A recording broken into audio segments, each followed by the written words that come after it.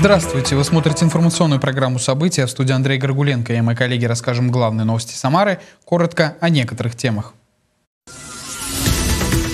В промышленном районе Самары открыли новый детский сад. Качество работы и оснащения проверили губернатор Дмитрий Азаров и глава Самары Елена Лапушкина. Более 9 тысяч детей в новом учебном году пойдут в детские сады Самары. В областной столице распределили места в дошкольные учреждения. Началась подготовка к пляжному сезону. Береговую линию Волги очищают от мусора, как с помощью техники, так и вручную. Символ победы, героизма и взаимопомощи. В областной столице стартовал шестой международный патриотический фестиваль «Самарское знамя». Новый детский сад открылся в промышленном районе Самары в границах проспекта Кирова, улицы Старозагора и Воронежской. Он рассчитан на 240 воспитанников. В детском саду будут работать и четыре ясельные группы для детей от полутора до трех лет. Губернатор Дмитрий Азаров и глава Самары Елена Лапушкина оценили ремонт и оснащение детского сада, а также пообщались с воспитанниками и их родителями. Подробности в нашем сюжете. Вот наши самые жители. Здравствуйте, здравствуйте, здравствуйте. Приятного аппетита всем! Спасибо! Да. Событие, которого долго ждали дети и родители, проживающие в промышленном районе Самары. В границах проспекта Кирова, улиц Старозагора и Воронежская, а также Московского шоссе построили новый детский сад, рассчитанный на 240 воспитанников. В нем будут работать 12 групп, 4 из которых ясельные для детей от полутора до трех лет. Промышленный район Самары активно развивается. Это одна из самых густонаселенных территорий, поэтому спрос на такие учреждения растет. Строительство здания находилось на контроле губернатора Дмитрия Азарова и главы города Елены Лапушкиной. Сегодня они оценили результат. Педагогический коллектив сделает все, что необходимо, чтобы детки получили и навыки, и знания. Ну, конечно, это нужно, чтобы было поддержано в семье, это развивалось, все время интересовались, а чему научились сегодня, а что происходило.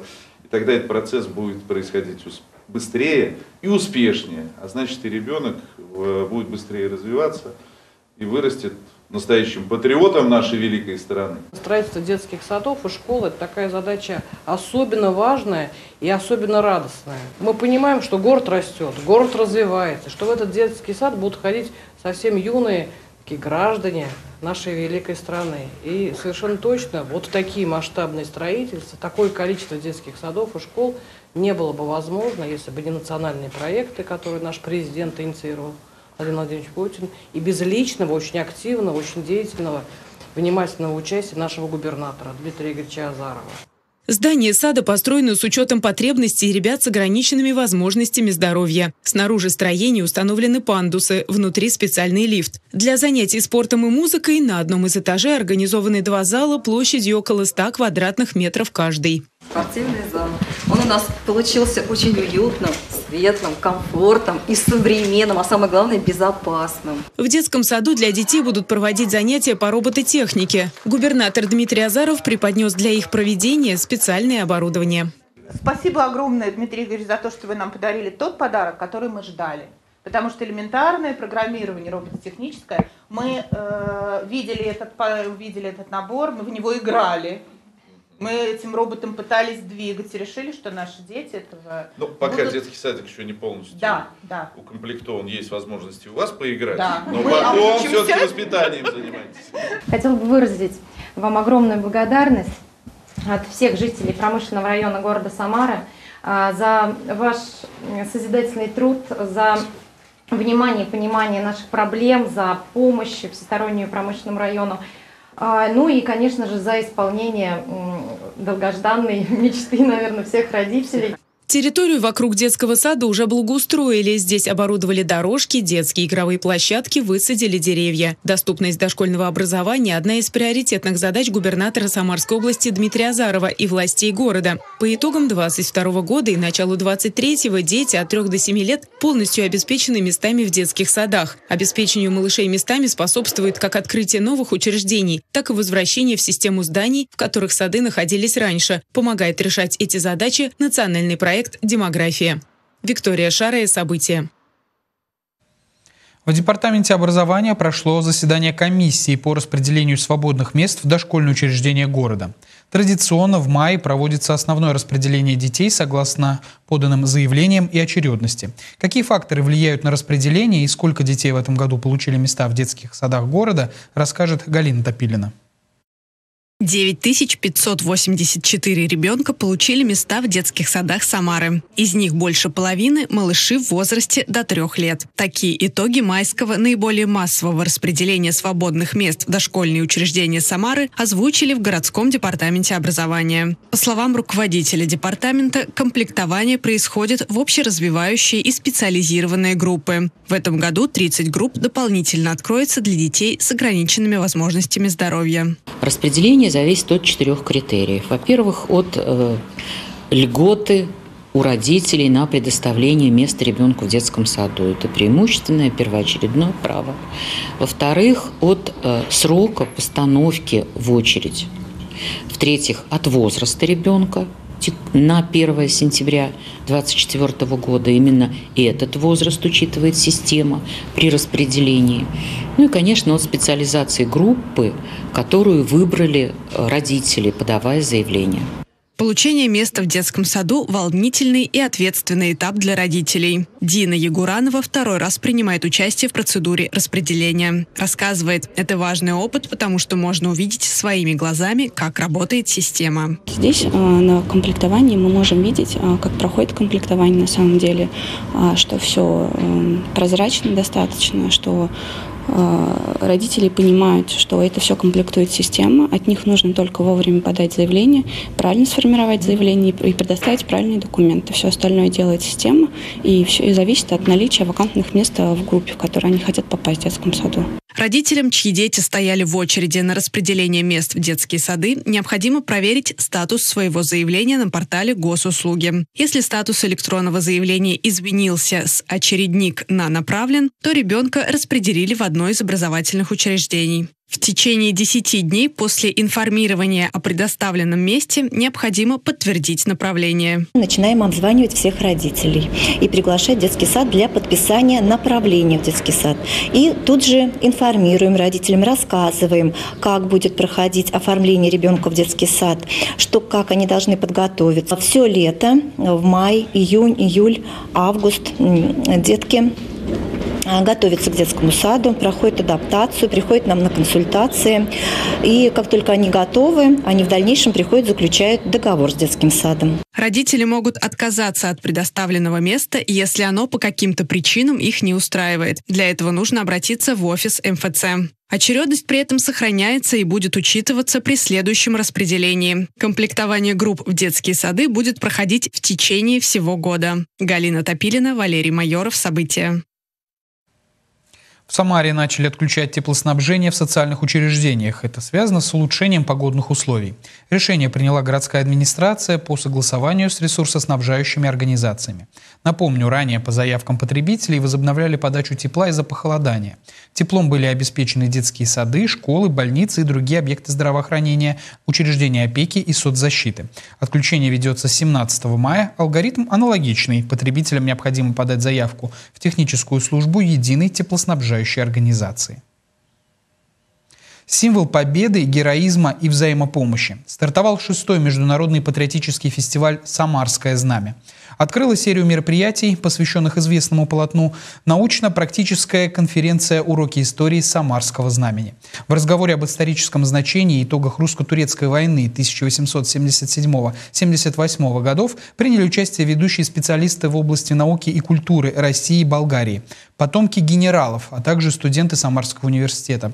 Подробнее в нашем сюжете. Самарское знамя – единственное российское полотно, которое имеет болгарский орден за храбрость. Это символ победы, настоящая реликвия. Сейчас оно хранится в Национальном музее военной истории Болгарии в отдельном помещении с особыми условиями и под усиленной охраной. О роли этого полотна в освобождении болгарского народа и его боевом пути говорили на научно-практической конференции «Уроки истории Самарского знамени». Самарское знамя да, – это великий символ наших полководцев. И действительно под ним сражалась не только третья дружина болгарского ополчения, но и оно является знаменем героем для всех стран Балканского полуострова, которых освободила Россия в рамках той войны 1877-78 годов. На конференции ведущие историки, деятели науки и культуры обсуждали также динамику взаимоотношений между Россией и Болгарией, итоги освободительной русско-турецкой войны второй половины XIX века и историческое значение того конфликта. Как всегда подчеркивает и МИД, что у нас э, всегда связи с народом они не прерывались никогда и в любое время при османах, и при других властях, и э, создание болгарской церкви, болгарской государственности. Это все связано непрерывно с Россией.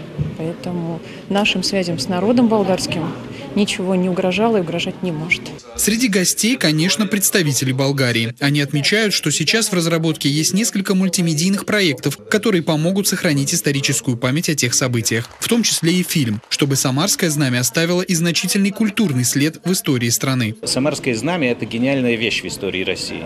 Такого нету другого. Это пример невероятнейший. Вот это некий результат деятельности российского общества, связанное с морально-эмоциональном отношении к той русско-турецкой войне, это тот символ, э, который на некоторое время, может быть, был единственным для болгарского народа. Это мероприятие должно стать э, очередным э, в цепочке серьезных мероприятий на территории России, которые посвящены русско-турецкой освободительной войне. Поэтому мы не могли не приехать в ваш прекрасный город. Также на обсуждение были приглашены и потомки тех российских генералов, которые помогали болгарскому народу вести освободительную войну. Они помнят всех убитых 500 памятников в Болгарии сохранилось и ухаживают до, до сих пор за ними. И поэтому часто мы встречаемся с болгарскими друзьями, бываем в посольстве Болгарии и бывали в Болгарии три раза. Поэтому мы работаем тесно со, со школами, институтами, библиотеками и даже говорим о вашем знамени.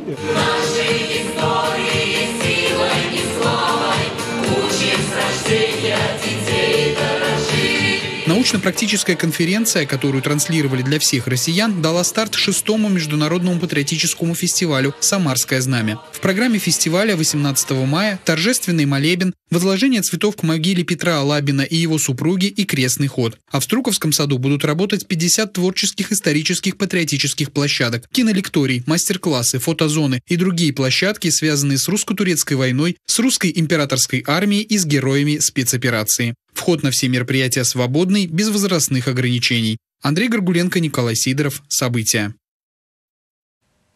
О Самарском знамени рассказали ученикам технического лицея на уроке мужества. Его провели в честь Международного патриотического фестиваля. Подробности расскажет Полина Чулюкова. Самарское знамя – символ победы в русско-турецкой войне и освобождения стран Балканского полуострова от османского ига. 147 лет назад жители Самары подарили знамя болгарским повстанцам, чтобы выразить поддержку и солидарность в борьбе за свободу.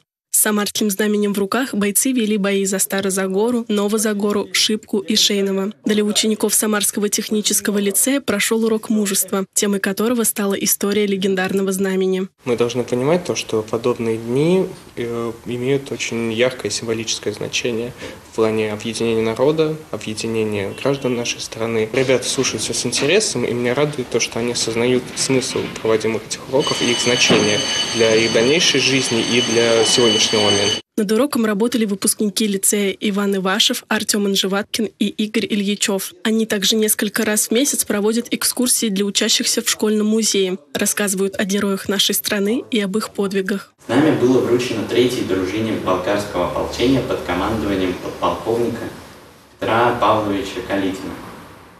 Он поклялся, что пока хоть один ополченец будет жив, знамя врагу не достанется. Мне интересна эта тематика. Я, в общем, интересуюсь историей России. Я трепетно отношусь э, к различным победам, прошедшим в нашей страны. Поэтому мне интересна эта тематика. Для нас все это важно, потому что все это наша история. Это первое. И второе, э, вот есть э, такие слова песне, это нужно не мертвым, это нужно живым. Такие уроки мужества проводятся в лицее практически каждый месяц. Зачастую они приурочены к знаменательным датам в истории нашей страны. Полина Чулюкова, Игорь Казановский. События. В Самаре началась расчистка городских пляжей от паводкового мусора. Береговую линию очищают от бревен и бытовых отходов, которые принесло течением с помощью техники, а более мелкие ветки собирают вручную. Работы выполняли на первой очереди Самарской набережной. Подробнее в нашем сюжете. Камыш камышу, бревно к бревну. В районе первой очереди набережной 8 единиц техники и 10 рабочих проводят очистку береговой линии от мусора, который принесло паводковым течением. Там, где необходимо увести габаритные предметы, в дело вступает механизированная техника, а где нужен более точечный подход, орудуют лопатами и граблями вручную под песком находится коса, э, ну, скажем так, соломы, либо камыша, который физически граблями невозможно выграбить, и поэтому техника проходит. Сначала собирает именно песок грязный с камышом, а уборщики уже на граблях прочесывают те места, что не смог захватить ковш погрузчика прошлые года течение приносило к берегу даже бытовую технику, различные бочки и канистры. В среднем каждый год на полигоны вывозят до 2000 тонн мусора. Работы по очистке пляжей замечают и жители города и с нетерпением ждут, когда можно будет выйти на чистый песок, чтобы принимать солнечные ванны. Конечно, конечно. Мы часто ходим на пляж, загорать, купаться.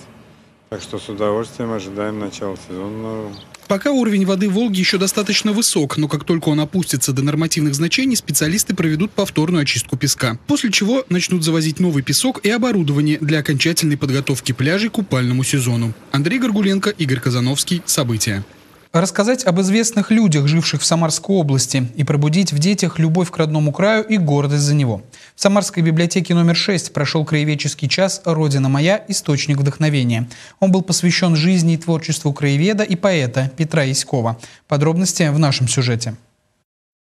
Любовь к стране начинается с любви к своей малой родине. В этом уверены сотрудники Самарской библиотеки номер 6. Они регулярно проводят для школьников открытые уроки, на которых рассказывают о знаменитых земляках. Ну, во-первых, чтобы познакомиться с э, поэтами, которые жили на территории их города, в котором они живут, город Самара, а чтобы они знали, что есть такие люди, которые вдохновились своим городом. Такие мероприятия очень полезны для детей – потому что они прививают им любовь к своему, к своему городу, к своей стране. Сегодня в библиотеке прошел краеведческий час «Родина моя. Источник вдохновения». Он был посвящен жизни и творчеству краеведа и поэта Петра Яськова. Петр Матвеевич прошел войну, был в концлагере, после чего его объявили изменником Родины. Но позже он был реабилитирован и в 69 году переехал с семьей в Куйбышев, жил в Зубчининовке. Изучал историю происхождения этого поселка, писал стихи и о войне, и о Самарском крае. Сегодня нам рассказывали о поэте, который писал стихи о войне, о своем родном крае.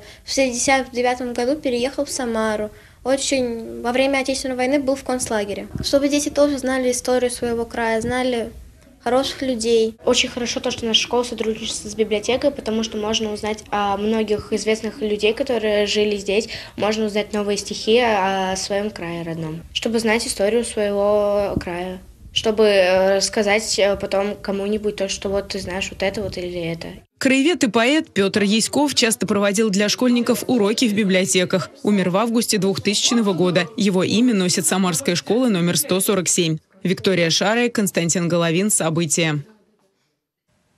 18 мая Самара присоединится к всероссийской культурной акции «Ночь музеев». Сейчас идет подготовка. В музее-галерее «Заварка» на Самарской 207А открылся информационный центр, где посетителям рассказывают о программах творческих площадок, а также маршрутах экскурсионных автобусов. Еще один информационный центр на пересечении улиц Куйбышева и Ленинградской. В субботу самарские музеи, культурные центры, галереи, арт-пространства, библиотеки и театры ждут жителей и гостей города. Главная тема «Ночи музеев» в этом году – из поколения в поколения семейные реликвии. Яркие картины и игрушки, знакомые многим из детства. В Самарском музее-галерее «Заварка» открылась выставка художницы Яны Арбузовой «Сюрприз». С творчеством ознакомился наш корреспондент. В общем-то, Ностальгия по детству – основная тема выставки «Сюрприз» самарской художницы Яны Арбузовой. Ее вдохновила коллекция игрушек, которые многие дети собирали в 90-х и начале 2000-х. В экспозиции 10 живописных работ художницы, на которых можно увидеть популярных в свое время пингвинов, бегемотов, акул и динозавров. Я родилась в 97 году, и в нулевых я активно собирала в детстве киндер-сюрпризы.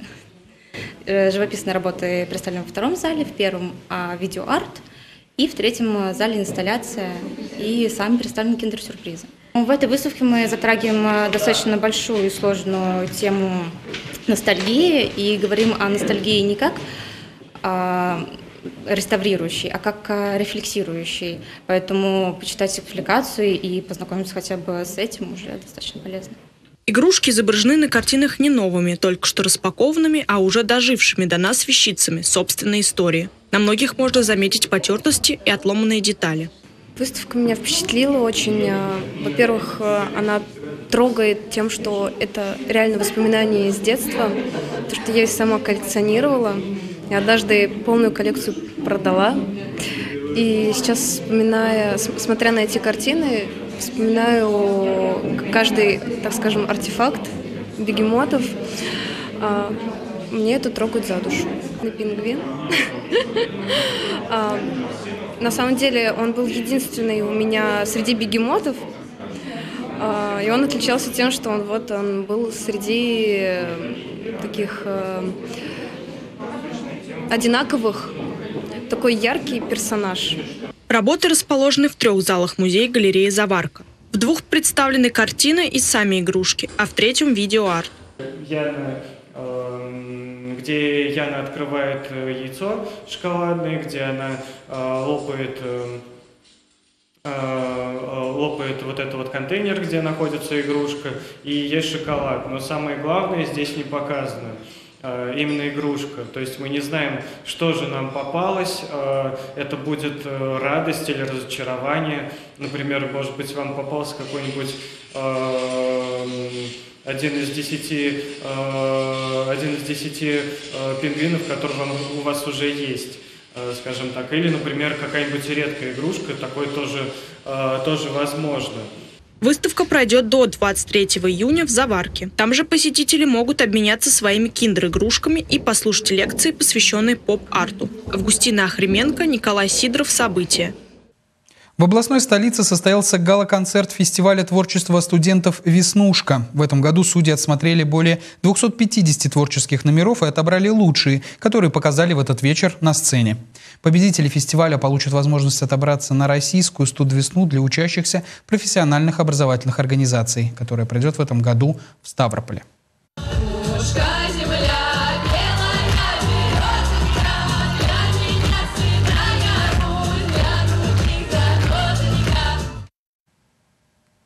Далее вас ждет обзор телеграм-каналов городской администрации профильных ведомств. Вот о чем они писали сегодня на своих информационных площадках.